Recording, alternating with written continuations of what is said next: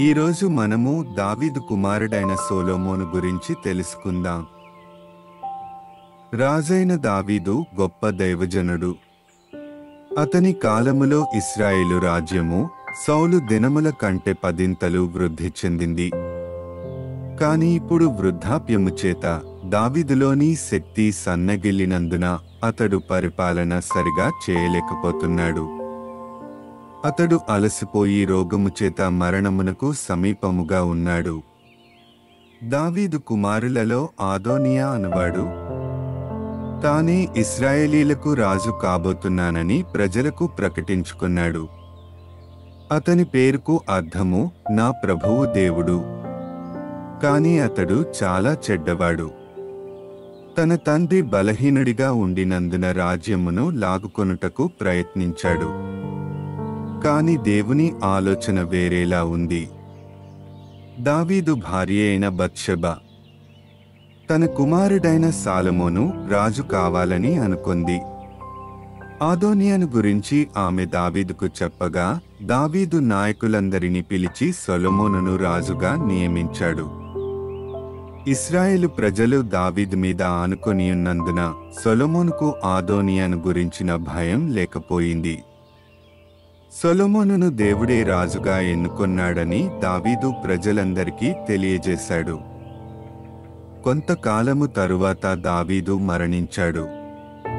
తాను చనిపోకముందు దావీదు సోల్మోనుతో మంచి రాజుగా ఎలా ఉండాలో దేవునికి ఎలా విధేయత చూపాలో చెప్పాడు.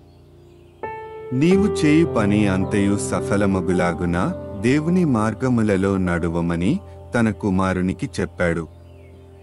అప్పుడు దావీదు సింహాసనముపై సాలమోను కూర్చున్నాడు. అతని సింహాసనము స్థిరపరచబడింది. ఒకరోజు రాత్రి దేవుడు కలలో సొలమోనుకు ప్రత్యక్షమై నేను నీకు దేనినిచ్చుట నీకిష్టమో దానిని అడుగమని చెప్పాడు. నీవైతే దేనిని అడిగి ఉండేవాడివి? ప్రజలను పరిపాలించుటకు జ్ఞానమును ప్రసాదించమని సొలమోను దేవుని వేడుకొన్నాడు. సొలొమోను విన్నపము దేవునికి ఎంతో నచ్చింది. తాను దేవుని యొద్ద ఏమి కావాలని కోరుకున్నాడో దానిని సొలొమోను పొందుకున్నాడు.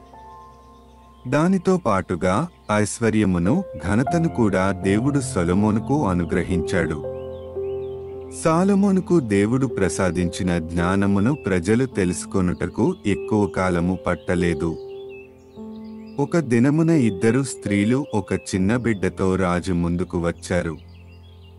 వారిలో ఒక స్త్రీ రాజుతో ఈమె బిడ్డ రాత్రి చనిపోగా నేను నిద్రించుచున్నప్పుడు బ్రతికియున్న నా బిడ్డను తీసుకొని చనిపోయిన బిడ్డను నా కౌగిటిలో ఉంచింది అని ఫిర్యాదు చేసింది. అప్పుడు రెండవ స్త్రీ అది కాదు బ్రతికియున్నది నా బిడ్డ చచ్చినదే దాని బిడ్డ అని వాదింపసాగింది. బ్రతికియున్న బిడ్డకు నిజమైన తల్లి ఎవరో రాజు ఎలా తెలుసుకోగలడు? అప్పుడు రాజు కత్తిని తెమ్మని ఆజ్ఞయ్యగా వారు రాజు సన్నిధికి కత్తిని తెచ్చారు.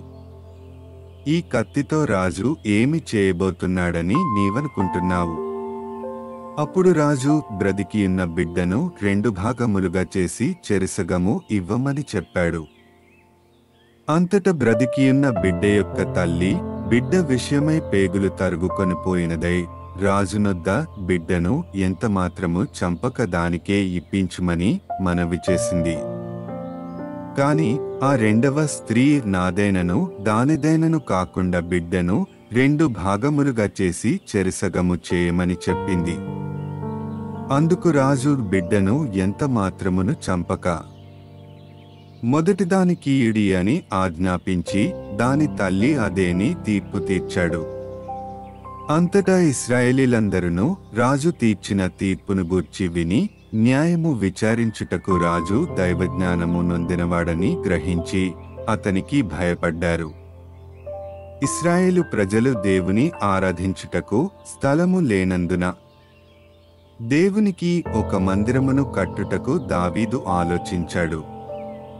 కాని దేవుడు దావీదుతో నీ కుమారుడు నా నామము కొరకు మందిరమును కట్టిస్తాడు అని చెప్పాడు.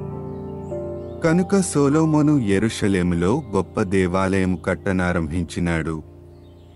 మందిర నిర్మాణమును పూర్తి చేయుటకు ఏడు సంవత్సరములు పట్టింది.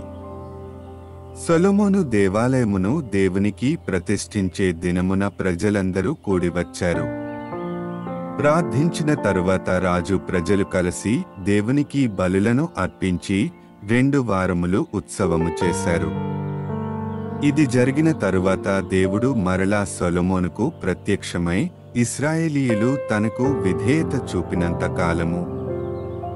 వారిని ఆశీర్వదిస్తానని వాగ్దానము చేశాడు. కాని విచారకమైన విషయమేమిటంటే తరువాతి కాలములో సొలమోను గాని ప్రజలు గాని దేవునికి విధేయత చూపలేదు. మరియు రాజు అనేక మంది అన్య స్త్రీలను వివాహము చేసుకున్నాడు. వారు అతని హృదయమును విగ్రహముల వైపు త్రిప్పగా అతని తండ్రి అయిన దావీదు హృదయము వలె. అతని హృదయము దేవునేడల యథార్థముగా లేకపోయింది. సొలమోను దేవునికి అవిధేయత చూపగా అతని సేవకుడైన ఎరుబాము ఒక వింతైన అనుభవమును పొందుకొన్నాడు. ఒక ప్రవక్త ఎరుబాముతో దేవుడు సొలమోను రాజ్యమును రెండుగా విభాగించి నీకు పది గోత్రముల మీద నిన్ను రాజుగా చేస్తాడు అని చెప్పాడు. ఈ సంగతి సొలమోనుకు తెలియగా ఎరుబాము ప్రాణభయముతో ఐగుప్తు దేశమునకు పారిపోయాడు. రాజైన సొలమోను చనిపోగా అతని కుమారుడైన రెహబాము ప్రజలను అత్యధికమైన పన్నుల చేత బాధపెట్టాడు. పదిగోత్రముల ప్రజలు రాజుకు ఎదురు తిరిగి తమపై ఎరుబామును రాజుగా చేసుకున్నారు. ప్రవక్త చెప్పిన మాట ప్రకారముగా సొలమోను గొప్ప రాజ్యము రెండుగా విభజింపబడింది. దేవుడు ఆ విధేయతను సహించలేడు. థ్యాంక్స్ ఫర్ వాచింగ్ సబ్స్క్రైబ్ ఆ ఛానల్